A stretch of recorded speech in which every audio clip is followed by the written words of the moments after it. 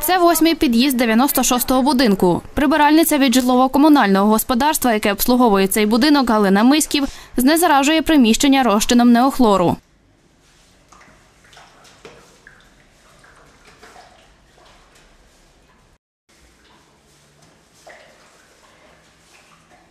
обризгую в під'їзді, е, дезінфікую ро- фізрозчином. Я його розбавляю і, як, як бачите, то розбризгую і протираю, де потрібно кнопочки, наприклад, перила, от, стіни, почтові скриньки.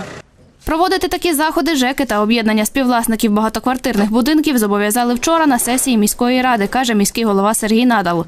За його словами, сьогодні виконавчий комітет міськради виділив 300 тисяч гривень на закупівлю неохлору. Сьогодні виділено 300 тисяч. Це перша партія для тих, хто не встиг закупити самостійно.